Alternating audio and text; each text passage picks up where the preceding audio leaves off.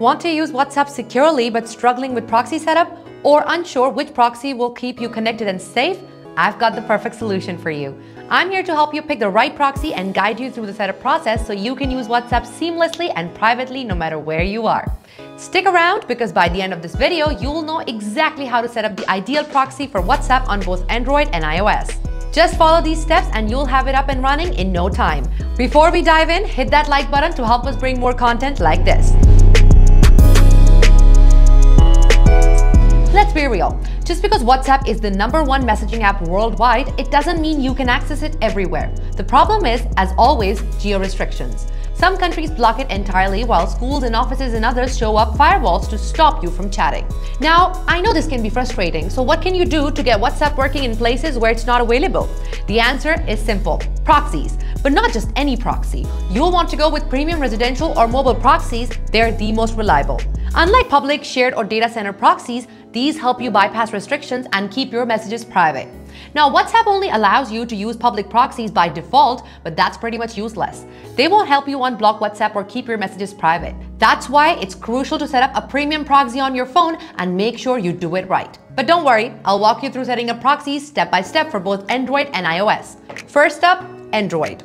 We'll start with mobile data and then move on to Wi-Fi. Stick with me and you'll have it all set up in no time. Alright, let's do this together.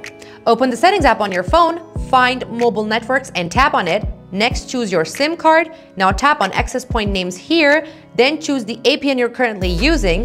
This is where you enter the proxy credentials you got from your proxy provider. Just don't forget to choose proxies from a location where WhatsApp works, that's super important. Watch as I enter the IP address or host name, port, username, and password in the corresponding fields. Check to see if everything looks good.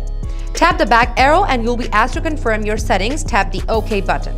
Now toggle your phone data on and off and your proxy is ready. But before you try using it for WhatsApp or any other app, make sure you test your connection. Do that by opening a website in your browser and entering your proxy username and password if you're asked to sign in.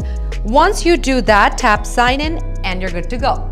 Let's see how to configure a proxy for Wi-Fi. Now, before we dive in, let me say the steps may slightly vary depending on your device and Android version. Still, the process is more or less the same, so you can follow along on my screen. Back to settings. Tap Wi-Fi or find it under Connections, depending on your Android version. Find the Wi-Fi network you want to configure and tap the arrow icon next to it.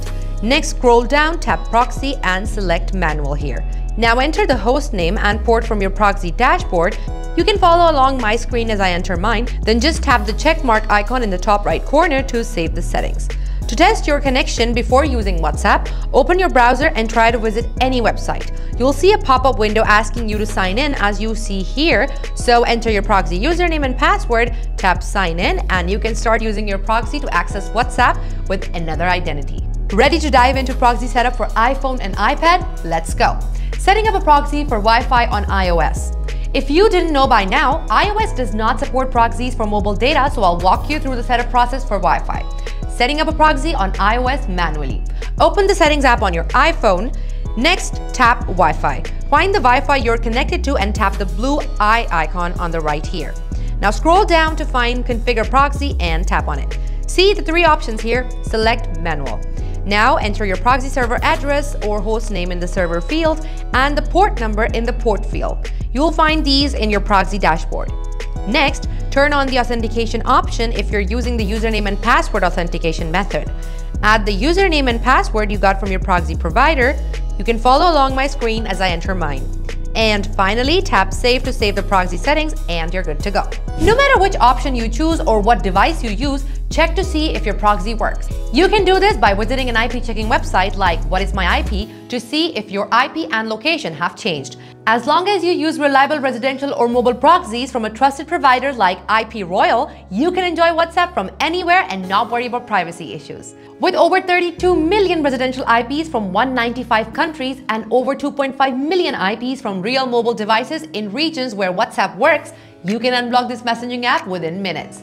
Ready to start?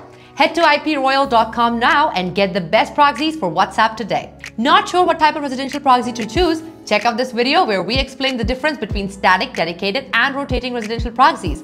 Don't forget to subscribe for more tech tutorials and hit the bell icon. See you in the next video.